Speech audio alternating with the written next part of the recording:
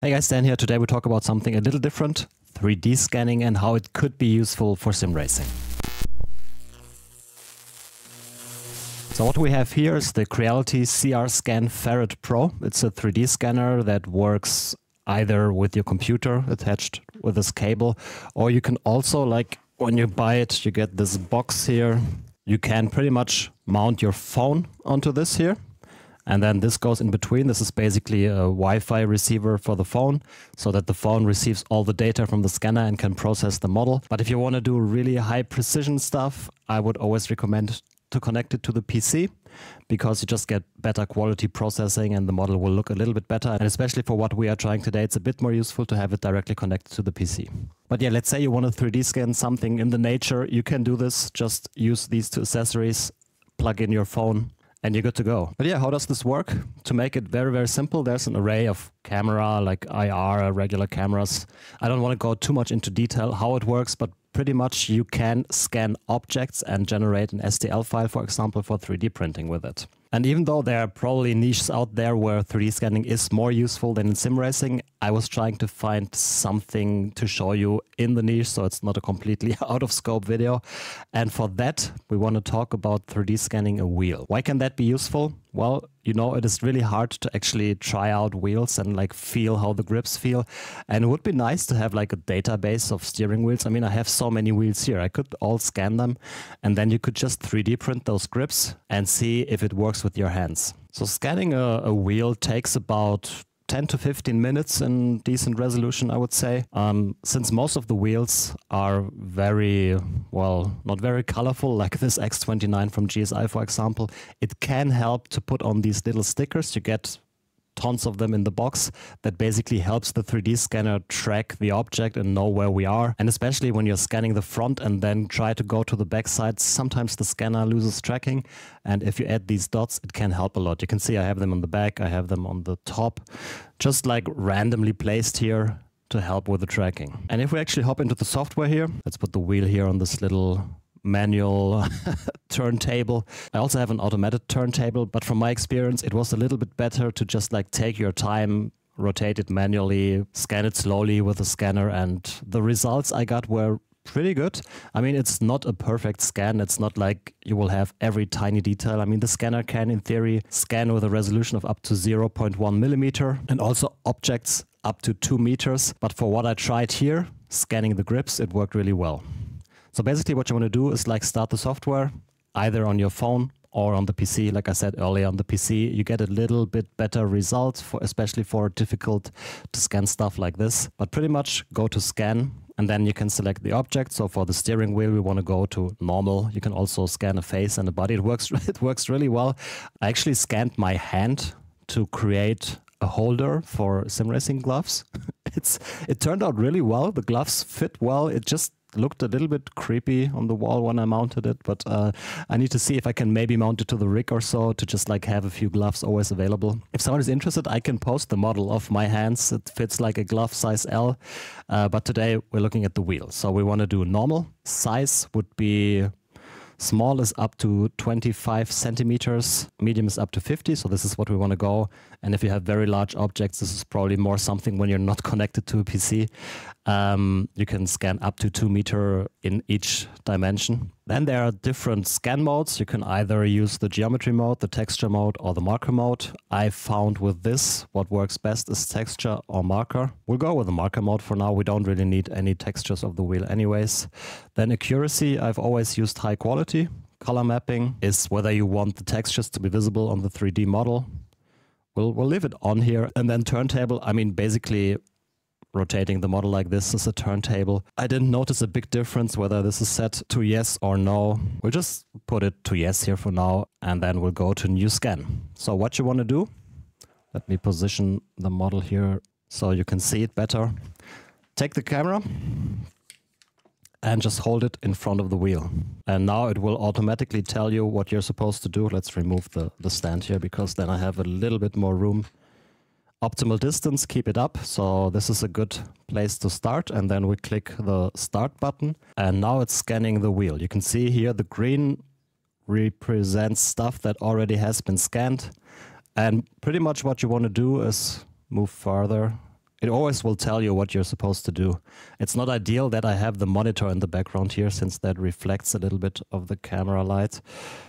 But you just, as you can see, it's like a really, really easy to do. You basically just want to scan the whole wheel, move further until the whole thing is green.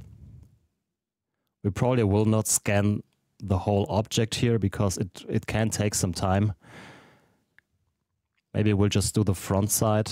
I have done the full scan of the X29 already and it turned out pretty great. Let's see if it will, yeah, see, especially like when you're uh, approaching the corners of the wheel, it sometimes loses tracking and you need to like, what I found works well is like go over the top. It's just it's a learning experience. Like especially if you're new to 3d scanning. Oh now i scanned my hand. Gotta be careful there but we can remove that later anyways. So let's just let's just scan the front. We are not doing oh now we lost tracking. So what you want to do when you lose tracking is just go to the front or something that is easily recognizable until it turns green again. Because like if it loses tracking you see it's red now and insufficient. Please uh, it says insufficient valid scan points or it will say lost tracking. So when you see that, just go to the front again and wait till it found the tracking again. And yeah, like if I want to scan the full thing, you can also like rotate the camera, try to go to the bottom here. It's, yeah, like I said, maybe like 15 minutes or so for this wheel, including my hand. Uh, we'll just take the front side and once we're done, we click on complete, complete scanning, yes. And now we have the point model here. You see the back side is obviously not processed, so we just do the front. We'll leave all the settings on auto for now. If you do the full thing, it can help to like tweak the settings here. For example, if we go to, oh, I started the optimization that I can show you afterwards. Let's see what it was doing with this basic scan. This is relatively quick on the PC. Like on the phone, it takes longer, and this is a beefy PC. Like it doesn't really get much faster than this one, so it takes a lot of processing power to generate these models. But let's see what it comes up with. And here we are. This is the model it created. I mean, as you can see, like I need to scan a bit more closely, so it's missing a lot of points, especially like obviously the rear side. Nothing has been scanned, but you want to like point the camera to these areas a bit more, to the buttons to get really the precise scanning. But you can see the grips already look pretty good here in this model. And if you're done processing, like I said here, you can increase or decrease resolution, sensitivity, or oh, I shouldn't click the buttons. Let's create the mesh. And what that did is basically connect all these points. Like, I mean, it's not the best resolution here right now for the buttons, for example. Like I said, we need a bit more in detail scanning for that. But the grips already turned out pretty well. And if you denoise it a little bit, that can help to remove the roughness on some of these areas. You can also do fill holes. We don't do that now because we didn't scan the back. But like if you scan the whole thing, there are still a few parts where it maybe didn't scan it properly. Then you can just enable fill holes and it will uh, close those for you.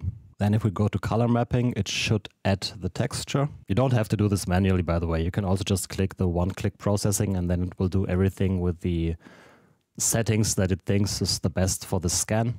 And now we actually have a model with a texture on there. It's not ideal lighting because like this scene is obviously lighted for my face and not for the object. What I found works really well, like a nice softbox, for example, that doesn't have harsh shadows. Really good for 3D scanning. Oh, you see also a bit of my hand here. Um, but yeah, I have done this in a bit more detail with the model already. Once you're done, you can click here, export, and generate an STL file or uh, object file, for example. But then you want to go to your slicer software and open the file. I'm using the uh, Creality K1 Max 3D printer at the moment. Really good printer, can highly recommend. But this is the scan that I came up with. You can see it looks significantly better because I actually, like, I spent some time with this. I don't want to bore you to death doing this in the video, but um, let's quickly orient this a little bit. What I am interested in You can see like even the, the clutch pedals, it didn't sc scan this one for whatever reason. But like even the details, like the screws turned out really, really well. But if we are only interested in the grips, what I do is split it up. Like here we just need, I mean, we don't need the, the stand thingy. So we will cut it roughly here, start splitting, then we remove this bottom part. And also I don't really care about the rest of the wheel. Let's quickly rotate it a little bit more so we can more easily split it. I mean, I'm not the biggest expert when it comes to slicer software, but that's how I do it. so let's say we only want the grips. So we'll split um, another time here and then let's lay it on this face. We don't really need the shifters as well. So I would do another split in this here, start split, delete this, and then we can print just this part. And I have done that already. Looks like this. Turned out really well. I mean, obviously you want to do a little bit of post-processing on the model, like these are the dots, for example, that I put on. They are still slightly visible in the scan, but you don't really feel them once you printed it out. But still, you can do a little bit of smoothing here. But I have to say, I mean, obviously, this is a nice rubber grip and feels slightly more comfortable.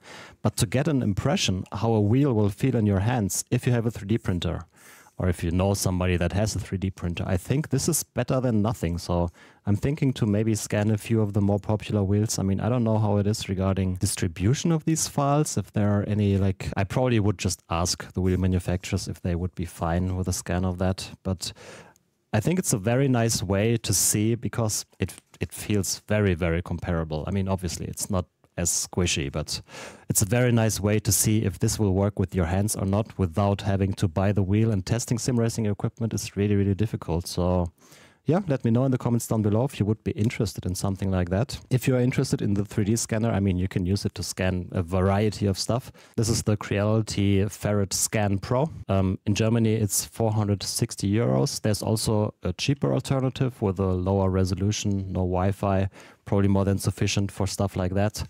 Um, but yeah, it's pretty amazing, fascinating technology. It's it's good to play around with that. And I really think for sim racing, this could be a good use case to help people test different wheels. So yeah, let me know in the comments down below if you would be interested in some of the scans. If you liked the video, give it a thumbs up and subscribe to the channel to not miss any future videos. Also, let me know if you would be interested in more of these DIY 3D printing, 3D scanning type of videos in the future or not. Um, it's kind of like a new field for me to explore. I'm having fun with it, but yeah, just let me know. And that's already it for the video. I hope to see you all in the next one. Bye bye.